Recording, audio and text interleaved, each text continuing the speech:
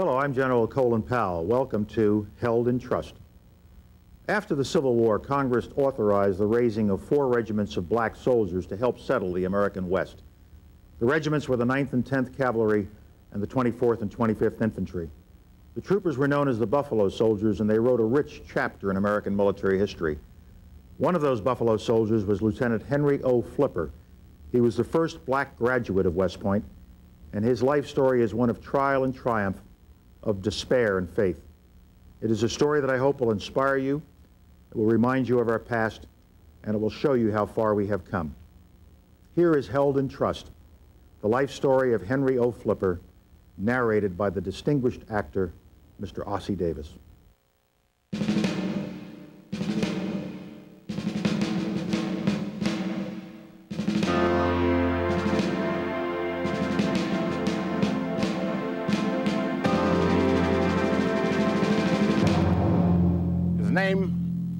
Henry Ossian Flipper. He was born on March 21st, 1856 in Thomasville, Georgia. And although he came into the world a slave, Henry had the rare opportunity to become one of history's most important black Americans. As the first black graduate of West Point, Henry seized the opportunity and made tremendous strides for black America.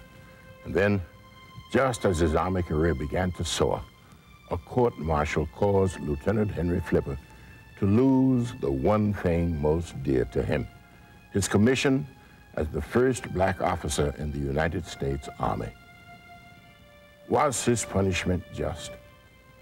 Or just a way to get rid of a young black lieutenant who broke the barrier? It is 1919, and Henry Flipper is now 63 years old. He sits alone in an El Paso, Texas hotel room, packing for an assignment in Washington, D.C. His country has called on him again as a Spanish translator and interpreter for the Senate Committee on Foreign Relations. It should be a positive time in Flipper's life. But finding a letter he wrote 20 years before reminds him that his mission to clear his name is not over yet. The letter reads, It might properly be asked why I have, have not, prior to this occasion, sought the rectification of the wrong which I perceive has been done me. Why have I suffered quietly? Of these questions I will say that I was thoroughly humiliated, discouraged, and heartbroken at the time of my dismissal from the service. Upon reflection, it was clear that I was not sufficiently removed from the prejudices of the time. I had no army or political influence sufficiently powerful to present my case in its true aspect, and I preferred to go forth into the world and by my subsequent conduct as an honorable man and by my character disprove the charges. Having been educated by the government of the United States and being the first of my race to be so educated and feeling it my duty I venture to come before your committee and ask at your hands the just and impartial consideration of the facts I have presented. I thank you very much for your consideration, and I remain yours, Henry Ossian Flipper.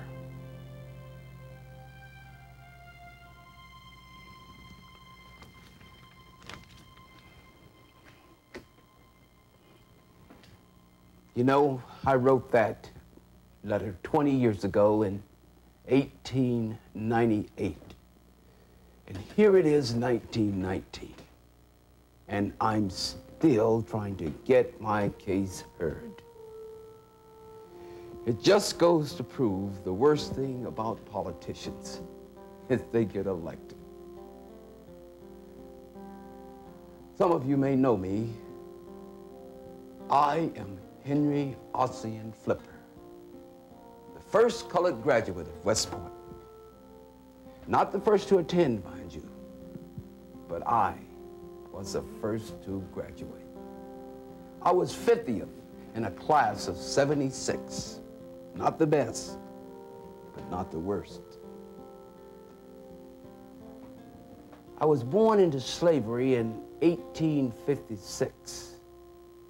My mother, Isabella Buckhalter, and I were the property of Reverend Reuben H. Lucky, a Methodist minister in Thomasville, Georgia. During the Civil War, my mother was hired to cook for Union officers.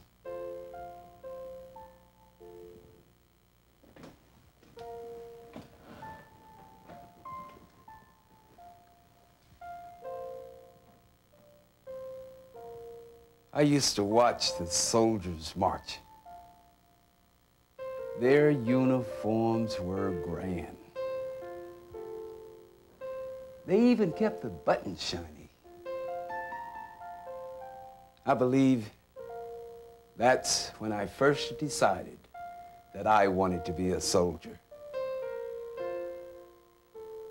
Henry's father, Festus Flipper, belonged to Ephraim G. Ponder, a successful slave trader and manufacturer. As a Ponder slave, Festus Flipper was allowed to learn a skill and even contract his free time. The elder Flipper prospered as a shoemaker and carriage trimmer. This unusual arrangement for a slave gave Festus the chance to buy Isabel and Henry from Reverend Lucky, keeping his family together when Ponder moved to Atlanta to marry a woman there. Ponder's marriage didn't last long. He moved back to Thomasville, but under a prenuptial contract, neither Ponder nor his wife could sell anything without the other's consent. Mrs. Ponder made no decision regarding the slaves. So, left to fend for themselves, they developed their skills into businesses of their own. One slave had a basic education and obtained permission to open a night school in the woodshop. There, at the age of eight, young Henry Flipper learned to read and write, and he read of a president named Lincoln who, on January 1st, 1863, signed the Emancipation Proclamation, declaring that all persons held as slaves were free. It was astounding. Negroes were allowed to travel freely about in uniforms and with guns, guns that white men had given them.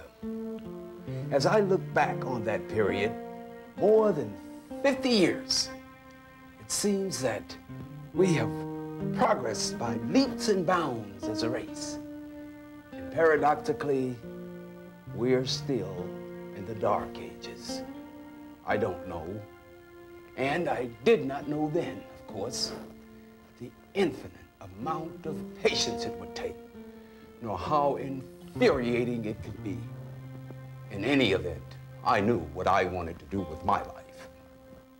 As General Sherman's Union Army approached Atlanta, Mrs. Ponder and the slaves took refuge in Macon. Then, in the spring of 1865, after the surrender of the Confederacy, the Flippers returned to Atlanta, where Festus fulfilled his greatest ambition to see Henry and his younger brothers receive a proper education. The boys were tutored for a short time by the wife of an ex-Confederate officer. Then they attended the schools of the American Missionary Association, including Atlanta University. It would be here, while a member of the freshman class, that Henry would receive his appointment to the United States Military Academy at West Point, New York. I can still remember sitting in my father's workshop when I overheard a conversation about a West Point cadet representing our district.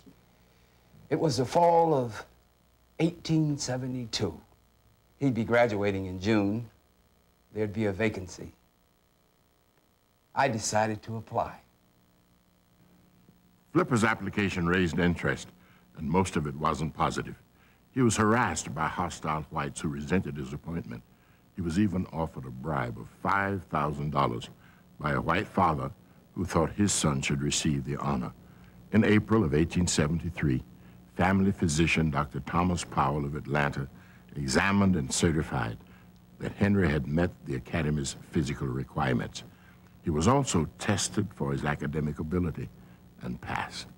Six days later, Congressman J.C. Freeman sent the nomination to the Secretary of War. And on May 25, 1873, Henry Flipper was privileged to receive his appointment to the West Point Military Academy. It might seem unusual that a young man like myself could have such lofty aspirations. But all of us, me and my four brothers, had similar dreams of success. They became a landowner, a professor, a physician, and a bishop in the Methodist Church. But I wanted to serve my country as an officer in the United States Army. I was ready for my country, but was my country ready for me? The United States Military Academy at West Point, New York. Here a first-year cadet, or plebe as they're called, begins his day at the sound of reveille and roll call at 5 o'clock each morning. A typical day is followed by cleaning, breakfast, marching, exercise, squad drills, classes, evening parades, supper, sentinel of duty, and homework. Henry Flipper was ready for the rigors of the point, but as he arrived by ferry boat down the Hudson River, he shuddered. As a young cadet, he knew the next four years would be an uphill battle, both physically and mentally. But as a young black cadet, Flipper faced the added pressure of bigotry. And it all began the moment he was seen walking from the adjutant's office to the barracks. His first impression was certainly not encouraging. The windows were crowded with cadets, watching his every move. He was jeered by some, snubbed by others. Though Flipper was to become the first black graduate of West Point, five others preceded him as cadets. But by the time Henry arrived on May 20th, 1873, only James Webster Smith remained. On his second day at West Point, Henry Flipper received a discouraging letter from Smith. In it, Smith advised Henry that if he had any hopes of graduating, he should keep to himself and never argue with any of his white classmates. Failure to do so had been Smith's downfall from the beginning. Smith was soon expelled, unofficially for striking back at his tormentors, officially for failing grades. This left Henry Flipper as the only black cadet at West Point. Flipper's story is one of the most disgraceful chapters in U.S. military history. Though he survived the hostility of the other cadets, the lack of friendship, and even a fight for food at the dinner table, Flipper kept a positive attitude I had wanted to keep my textbooks throughout my military career. So I'd had them bound in expensive leather with a fancy hand tool design around my initials. And a young cadet whom I knew asked if he could borrow several of them. It was one of the few times that I was ever asked for anything, so I gladly lent them to him. At the end of the term, when he returned my books to me, he had ripped the covers off so no one would know that he had borrowed books from HOF. Now, it wasn't this act that bothered me. It was the thought that a future officer in the United States Army had so little character or backbone as to be concerned about what others thought of who his acquaintances were. Of course, life wasn't easy for any plebe. There always seemed to be chamber pots to dump, floors to clean, upperclassmen to kowtow to. Anyone in my form was put up on. And perhaps I did have a bit more trouble than the others. But that was all right too. I didn't have to go to West Point to learn that. Any Negro who was striving to improve himself in any field in the late 1870s underwent similar experiences. Henry Flipper's mistreatment from white cadets continued throughout his four years at West Point. Never was he able to escape the harassment so he could concentrate on his studies. Never was he treated as an equal but rather as a social outcast. My worst year at the point was as a second classman during my junior year. Sometimes it was a wretched existence. From October 1875 to May 1876, I don't recall speaking to a female of any age. There was no society for me at all. No friends, male or female, for me to visit. So absolute was my isolation. I even learned to hate the holidays. The other cadets would go off rowing, skating, or visiting, and there was nothing left for me to do except walk around the grounds, which I sometimes did. More often, I remained in my quarters. At those times, the barracks would be deserted, and I would get so lonely I wouldn't know what to do. But I thought, if I cannot endure persecution and prejudice, then I don't deserve the cadetship. In spite of everything, Henry dug into his studies. He learned philosophy, chemistry, engineering, and military tactics. He also improved his horseback riding skills. In the summer of 1876, another black cadet, Johnson Chesnut Whittaker of Camden, South Carolina, arrived at West Point. They shared quarters until Henry's graduation the following year. Henry's influence was apparent in Whittaker, who followed Flipper's example of ignoring insults while standing his ground when his rights were infringed upon. As June of 1877 approached, Henry Flipper went through the rigors of final exams. Now, as the end of his schooling neared, the whole nation became interested in West Point's first black graduate. One by one, Henry Ossian Flipper passed his finals, showing the rest of the country that an African American was capable of graduating from West Point.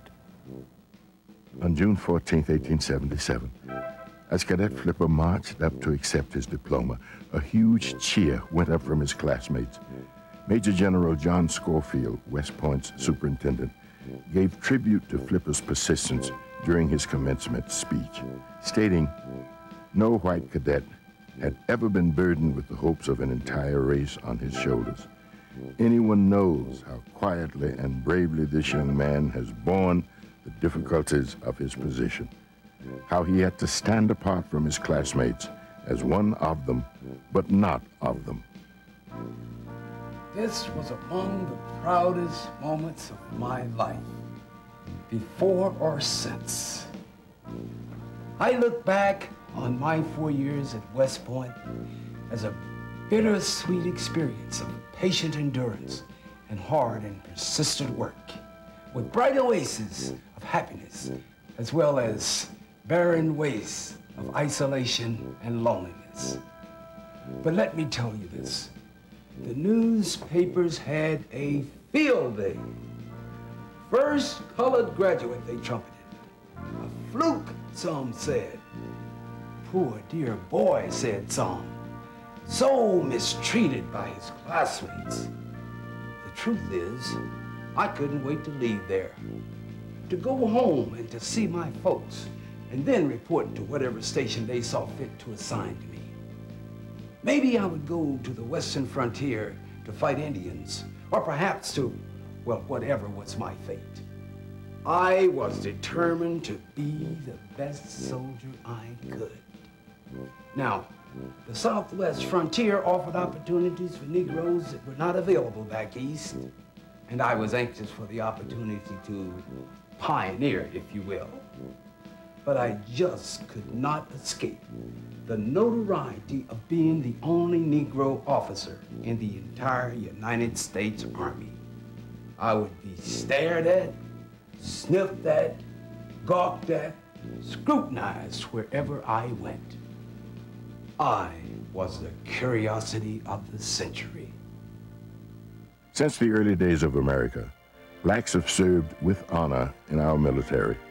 Their patriotism and ability was proven during the Civil War when over 200,000 served in the Union Army, members of the colored volunteer regiments. In 1866, Congress passed legislation allowing African Americans to join the peacetime army, but only in special units. Of them, the 9th and 10th all-black cavalry regiments were scattered across the Texas plains and within Indian territory. They were far removed from established cities. Their job was to maintain order between the Indians and the settlers, to help build forts and roads, patrol borders, and protect mail deliveries and railroad construction crews. The Army outfitted its black soldiers with old rifles and worn-out horses, usually cast off from the favored 7th Cavalry of General Custer. But even though they were faced with difficult assignments and continuing prejudice, their record of service is impressive. Colonel Benjamin Grierson was the white leader who led the 10th Cavalry. From the beginning, he complained about the treatment his soldiers received, but the Army ignored him. Grierson was committed to his men and for 22 years did all he could to make the 10th Cavalry's hard and lonely life tolerable.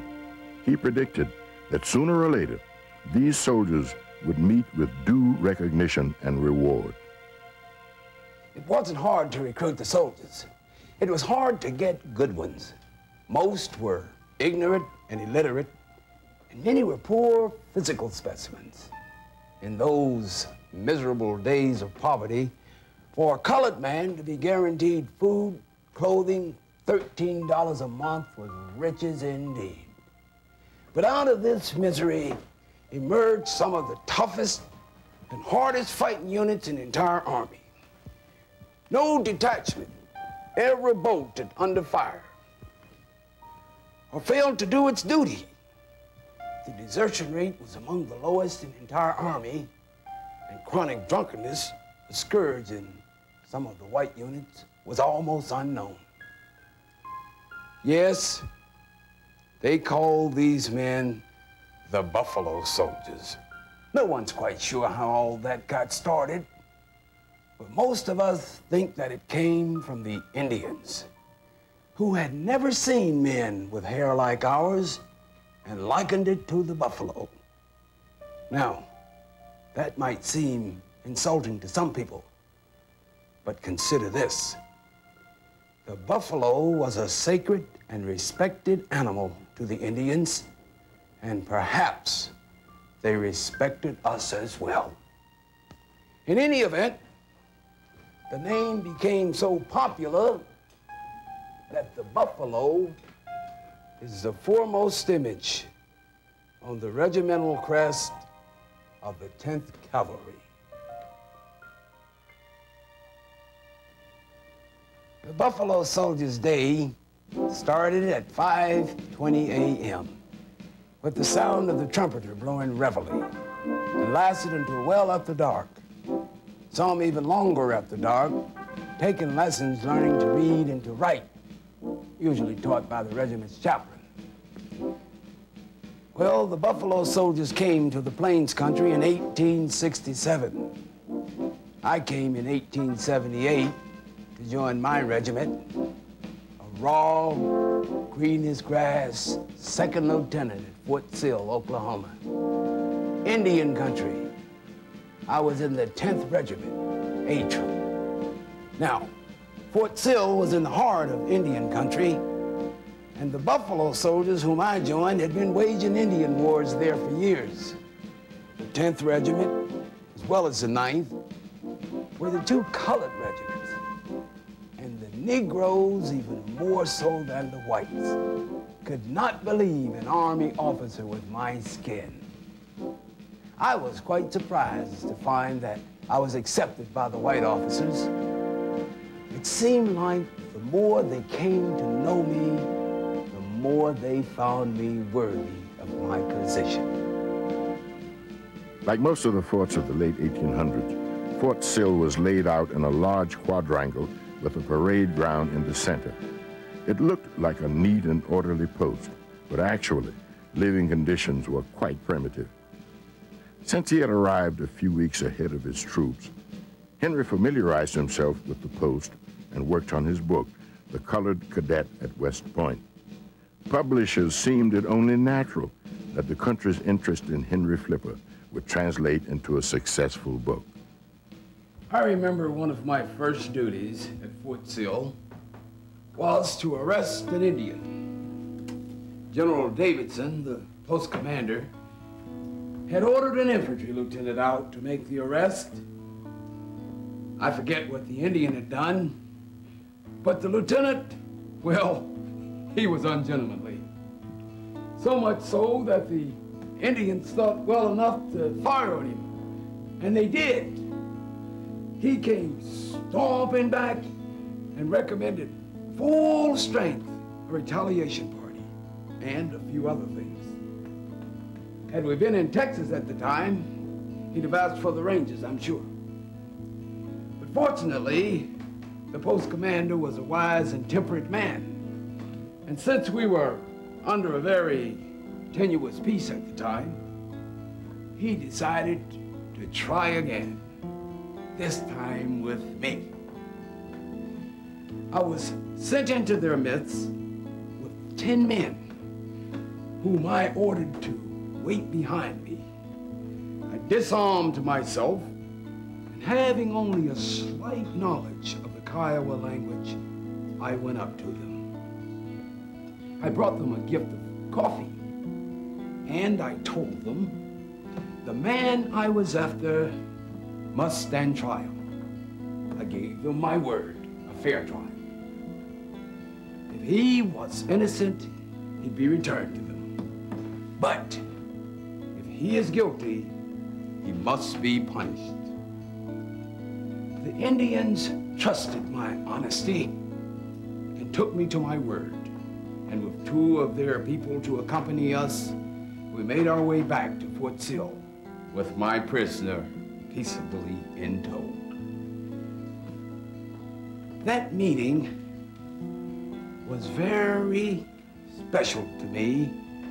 It was important because it reinforced something I already knew. I was a colored officer in a world populated entirely by whites. For the most part, they were courteous and, when warranted by rank, respectful. But I was always different. Even in the eyes of the Indians. I was always under the closest scrutiny for anything that I might do that seemed even slightly off the line.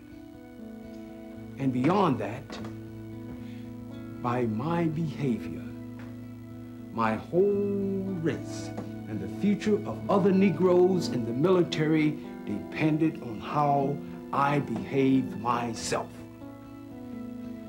It was as if this privilege had been given to me as a test to hold and trust with the hope that I might make well with it. And I tried. Believe me, I tried.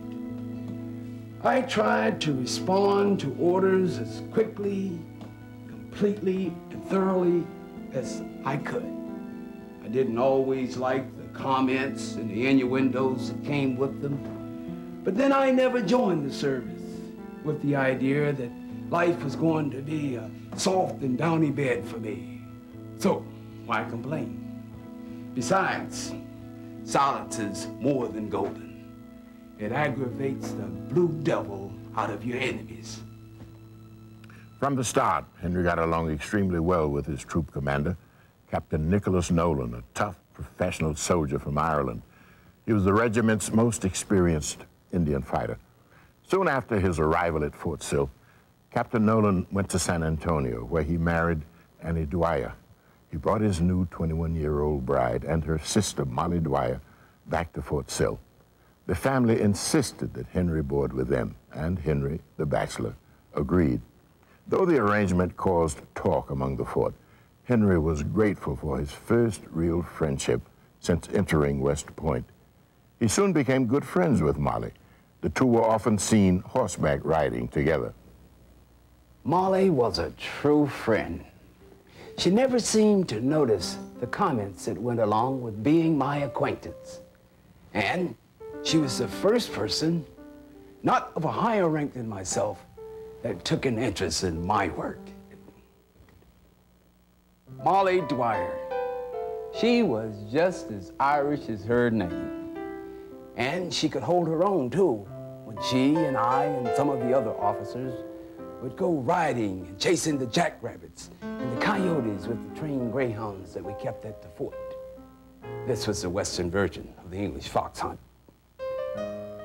Still, I worried for her reputation. Being seen with a Negro, even though we were just good friends, she was taking a risk. But being Irish, she had her own head about what was proper, not to mention a good left hook. And so, friends, we remained. Still, it wasn't comfortable. Lieutenant Charles Nordstrom considered her his own private property, and he didn't take too kindly to me. And when I told Molly about this, she replied, Surely, Lieutenant Flipper, you know that President Lincoln freed the slaves. And so we both just laughed and continued to chase the jackrabbits. Those were wonderful times. Early in 1879, Henry's troop was ordered to Fort Elliott, Texas, where Captain Nolan made Flipper his adjutant, the ranking officer of the commander's staff. Henry also found time to map and survey the post and help build a telegraph line from Fort Elliott to Fort Supply. In November, Flipper's troop returned to Fort Sill, where for four months, Henry served as acting captain of Company G. His engineering skills were tested when asked to take over the construction of a new road from the post to the railroad station in Gainesville. A month later, he made his most important contribution to Fort Sill, the construction of a ditch that would drain stagnant pools of water away from the fort. Whenever I rode with Molly, we always noticed a bad problem with stagnant pools of water at the fort. Every rainy season, the men were plagued with malaria. Many of them died from it. I even got my own system full of it one year. So I designed a runoff that looked like it was running uphill when it was completed. And it caused a lot of comment. We worked for weeks regrading the land and digging the ditch with the assistance of a full troop of cavalry soldiers. When it was finished, the commanding officer and some of the other officers came down to look it over. We got down in the ditch, and the general told me that I had it running uphill, that the grade was wrong. Well, it certainly looked that way, but I knew I was right. And when the first rains came, the water flowed away as smoothly as a sled on snow. I understand the men at Fort Sill still call it Flipper's Ditch. Now, this may not seem like any great tribute, but Molly was impressed. Not because they named the ditch after me, but because of the work itself. The work. It was nice. The success of Henry's Ditch in eliminating malaria at Fort Sill is still noted today. Flipper's Ditch was named a National Historic Landmark on October 27, 1977, almost a century after it was created. A large bronze plaque commemorates what turned into an ingenious and successful solution to a serious problem. I always accepted the travel involved with being a soldier. I expected it. But that didn't make it any easier for me to accept my orders to leave Fort Sill. It was as if I were leaving home. Here I had begun my career. Here I had grown from a young, green, inexperienced officer to one with a little more confidence in himself. And here I had made friends, friends whom I believe accepted me as I was, and who respected me regardless of my color. on the day we were to leave, my troop went ahead of me.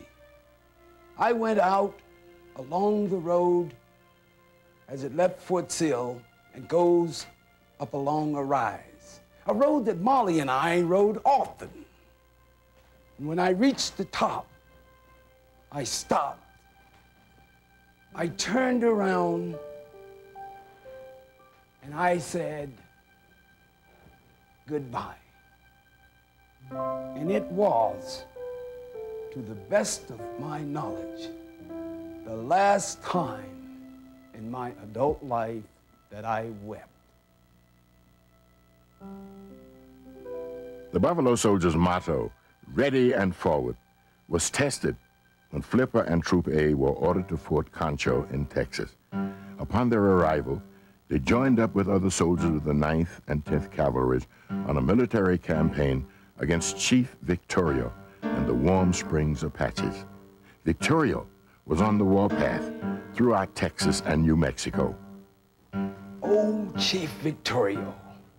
He was fast as lightning and ferocious as a wildcat. Now, I've talked to men who fought against Victorio as well as Geronimo. They all preferred Geronimo. One morning, Victorio and his followers surprised a detachment of a lieutenant and 10 men, killed most of them, and left the survivors to make it to us in their underclothing. Now, Captain Nolan sent me with two men and dispatches to Colonel Grierson, our commander over at Eagle Springs. We rode 98 miles in 22 hours. I felt no ill effects from the ride until I tried to dismount from my horse. I couldn't. I fell flat on the ground. Colonel Grierson received the information I brought, and one of the other men gave me a blanket where I lay, and I slept until the morning sun warmed my face. Lieutenant Flipper's heroic ride to warn Colonel Grierson paid off. Grierson pushed Victorio into Mexico, where he and his men were cornered by the Mexican cavalry. As a reward for his services in the field, Henry was sent to a new post, Fort Davis, Texas. Here, Colonel Nolan named him post quartermaster and acting commissary of subsistence. It was a big promotion for Flipper, but one that would be short-lived, as jealousy and a change in command would soon overshadow his accomplishments. Fort Davis was established in 1854 to protect settlers, mail carriers, and other supplies traveling westward along the road that led from San Antonio to El Paso. Unlike Fort Sill on the American prairie, Fort Davis is a rugged encampment. Lieutenant Henry Flipper adapted quickly to his new life and new responsibilities. He received praise from fellow officers and even local merchants who liked the way he did business. At Fort Davis, I was in charge of the entire military fort. Housing, fuel, water, transportation, and all supplies, as well as commissary. I was quite happy with my new job, but I felt the camaraderie that I had at Fort Sill was gone. And to make matters worse, I had to share quarters with Lieutenant Nordstrom. Remember him? He kept popping into my life, usually making it miserable. He hated me, it was said, as much for being his equal in rank as for my friendship with Miss Molly Dwyer, who moved to the fort with Captain Nordstrom's household. At Fort Davis, Nordstrom became my bitter enemy.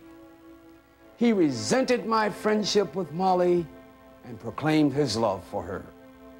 Some of the other officers sided with him and blamed me for her refusal of his marriage proposals. Mary Nordstrom? Huh, she deserved better than that. Whatever Henry's feelings were toward Molly Dwyer, her feelings toward him began to change. Eventually, she accepted Nordstrom's proposal, much to Henry's bitter disappointment. But this was just the beginning of the changes in Flipper's life. On March 12, 1881, Colonel William R. Shafter assumed command of the post. Shafter, who had earned the name Pecos Bill from his successful operations against the Indians, was a superb officer, but he had the reputation for harassing the subordinates he didn't like. Shafter was a harsh field soldier who didn't want to be burdened by the routine day-to-day administration of the post. So the entire commissary accounting fell totally on Lieutenant Flipper. Some of his civilian friends warned him that Lieutenant Nordstrom and his best friend, Lieutenant Louis Wilhelmi, were planning a trap. But, as in the past, Henry ignored the warnings. Then, Henry's life changed forever.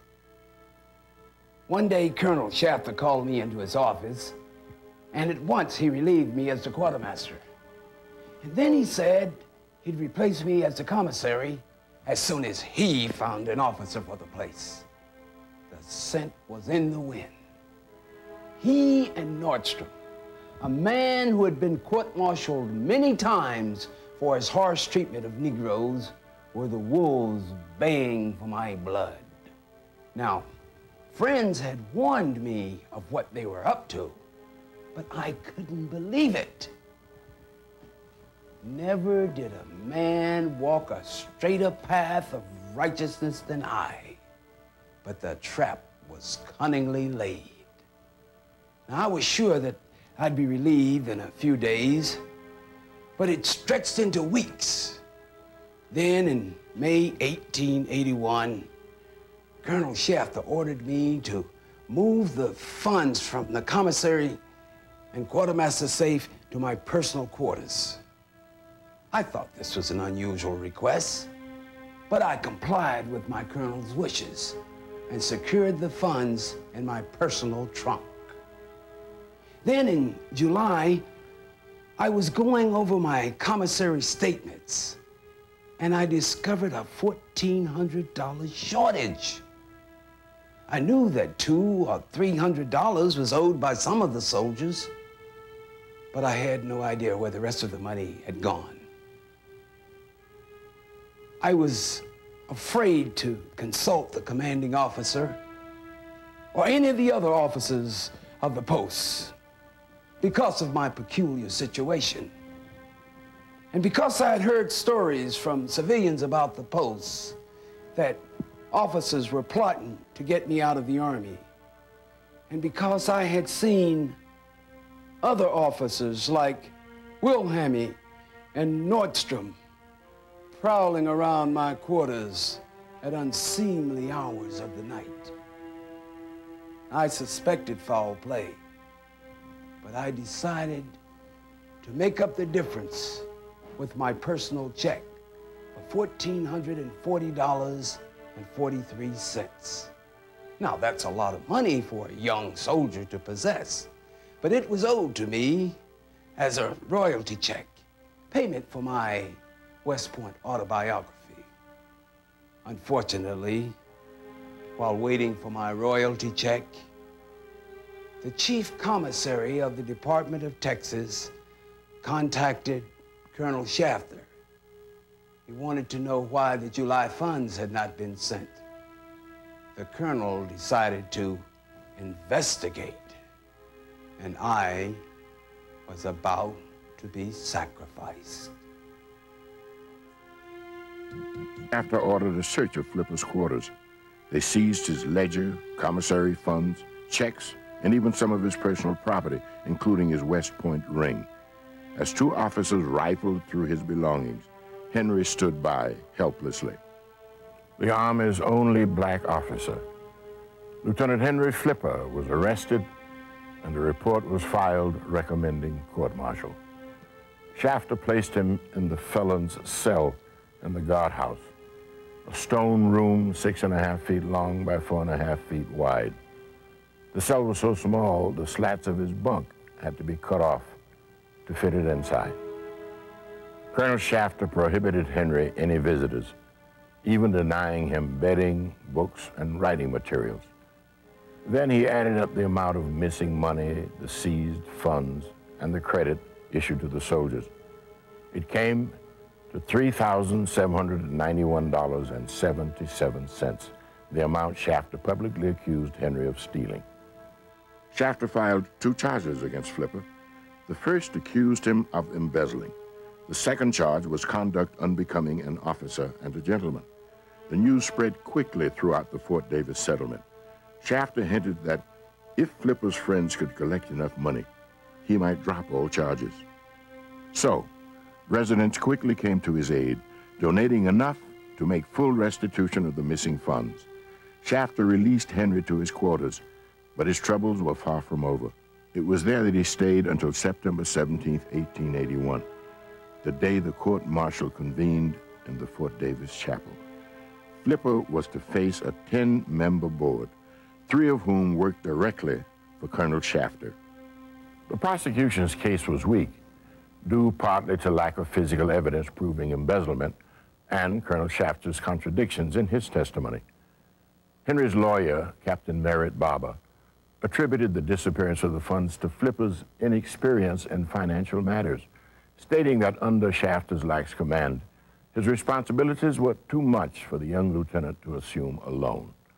Barber read from a letter from Henry's former commander, Colonel Benjamin Grierson, stating, Flipper's character and standing as an officer and gentleman was beyond reproach.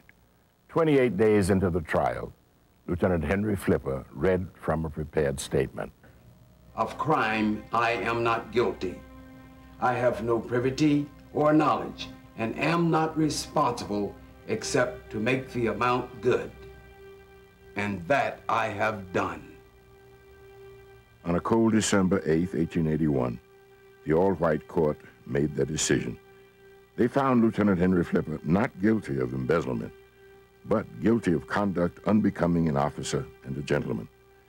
Flipper was sentenced to a dishonorable discharge, denied the one thing he wanted in his life, to be an officer in the United States Army. Conduct unbecoming. Embezzlement would have been better. If I'd been convicted of that, it would have been something I could deal with.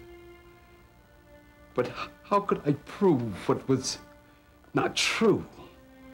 That I behaved with conduct unbecoming an officer. The verdict was comforting to some, I suppose. For at least it proved to them that no colored man could be an officer.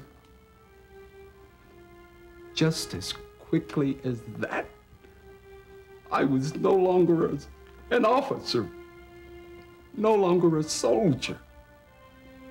I simply ceased to be in the Army. America's first black graduate of West Point, the first black officer in the U.S. Army, and the hero of the Buffalo Soldiers, brought his case before President Chester A. Arthur, but his plea for leniency was ignored. And on June 30th, 1882, Henry Ossian Flipper was dismissed from military service, and the officer corps of the United States Army became all white again. There was nothing else to be done, so I sold my horses and army gear, and I went to El Paso.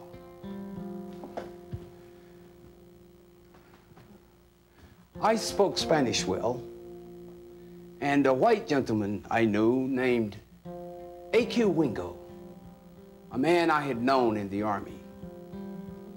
He was hired by an American company to do some survey work in Mexico. He sent for me. Well, Wingo had only told the company that he wanted a good engineer. And when the company found out that the good engineer was a man of color, there was some resistance. But Wingo proved to be more than a friend. He was a man of firm resolve. He made one simple statement with him or without me. A sought after expert in his field, soon Henry opened his own engineering firm in Nogales, Arizona. He even became the editor of the Nogales Sunday Herald. Through his engineering work, Henry became very familiar with Mexican and Spanish laws regarding land ownership. His expert testimony helped save the property of hundreds of Nogales homeowners. This led to Henry's appointment as a special agent for the Department of Justice in 1893. He worked surveying land claims and translating thousands of Spanish documents to English. Some of his translations still stand today. He was even commissioned to write a multi-volume history of mining in Mexico. In 1919, Henry Flipper served as translator and interpreter for the Senate Subcommittee on Mexican Affairs. His abilities led to an appointment as assistant to the Secretary of the Interior. A man of vast knowledge and strong character, Henry confronted both prejudice and tradition to become the first of his race to conquer fields that had previously been closed to blacks. I had always wanted to pursue a retrial of my case, so I kept up a letter writing campaign to this person and to that one. All attempts were unsuccessful. Very simply, I wanted to serve my country. Of course, I wanted to clear my name. My case lay on the desk of men who could have helped and wouldn't. In the meantime, my old unit, the 10th, distinguished itself with great skill and courage. I was unspeakably proud of them. Well, those days are over now. The buffalo are mostly gone. The Indians are mostly peaceful. We don't need horses anymore. We got trains. And those terrifying aeroplanes that made the Great War so horrible. And I'm seeing more and more automobiles, even on El Paso's dusty streets. Progress is inescapable. I hope that progress has some time for me and for my case. The Negro soldier has served his country as honorably, reliably, and courageously as any man who's ever put on the uniform of the U.S. military.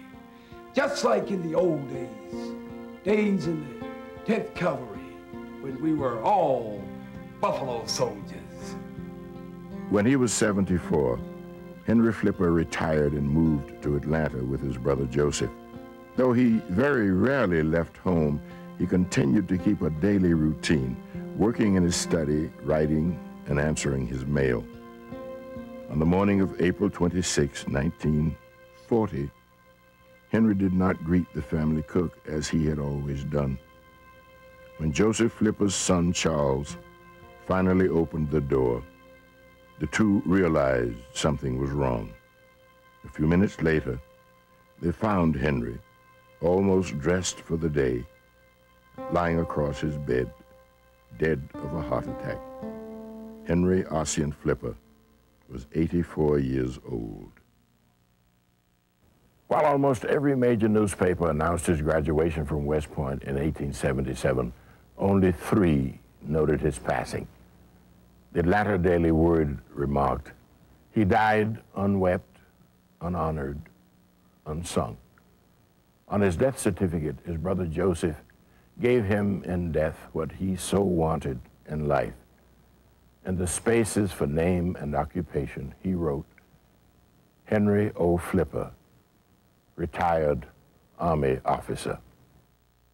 Thirty years after Flipper's death, Ray MacColl, a Georgia school teacher, became interested in the accounts of Henry's life. McCall, together with Ursula King, Flipper's niece, decided to make one final attempt to restore Henry's good name.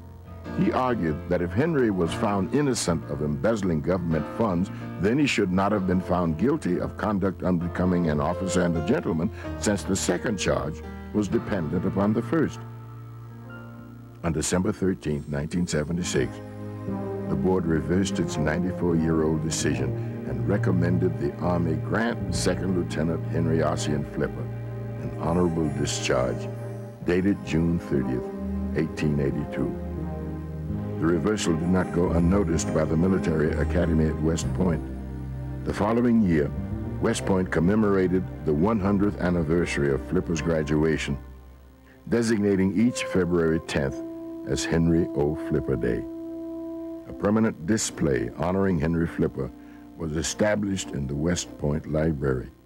And each year, an award is presented to a graduating cadet who best typifies Henry Flipper's attributes.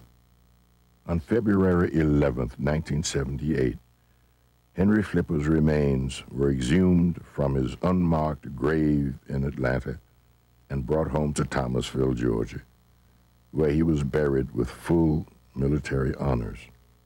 Friends, relatives, and military officials gathered at the First Missionary Baptist Church to pay their respects. At Old Magnolia Cemetery, the sounds of a 21 gun salute echoed over a flag draped casket honoring Henry Ossian Flipper, an extraordinary soldier who epitomized every black man of courage.